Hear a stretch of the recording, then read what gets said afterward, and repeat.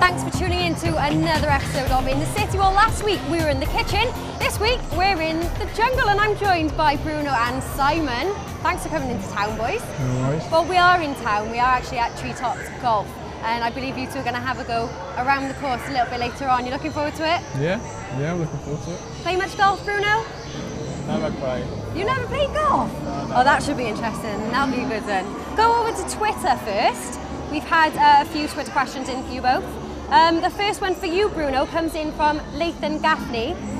Bruno, a lot of fans thought you might leave us last summer. What made you want to stay with Cardiff?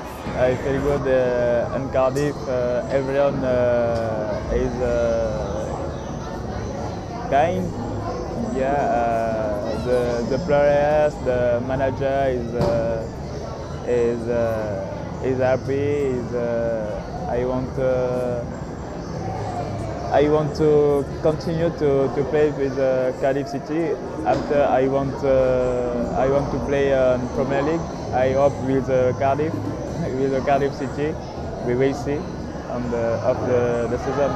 Uh, the next one again for you, Bruno, comes from Reese Grant. Are you excited to be playing for Gabon in the African Cup of Nations next year?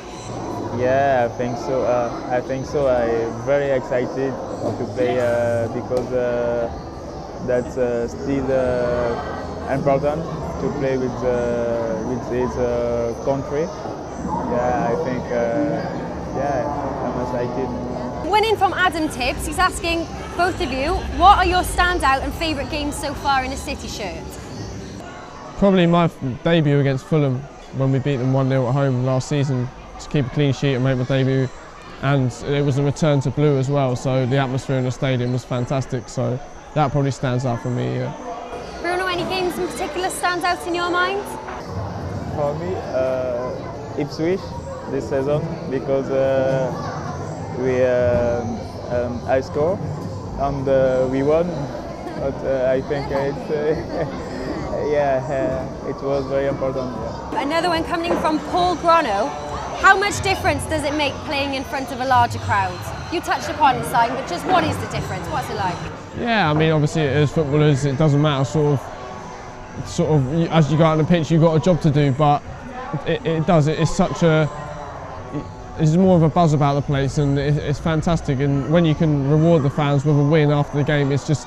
It's so good to see people happy and smiles on faces, and it, it was a great atmosphere against Derby. And I say, hopefully, we can have plenty more of that come the end of the season. And we'll round off on one which is golf related. Adam Jones is asking, seeing, it's, seeing as it's the Masters this week, who's the best and who's the worst golfer at the club? Uh, the best golfer is probably Pilks.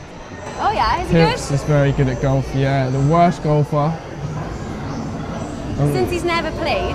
Yeah, I will let Bruno off probably. I think. Mm, I'm sorry, it's my roomie Sammy. He's got to be up there. Is it really? Does he play Yeah. a bit of golf as well? He's, he, oh, he's he not going to like little bit. that, He's not going to like that side. Oh dear. Yeah. All right, we'll have to bring him up here and Bring just see how bad yeah. he is.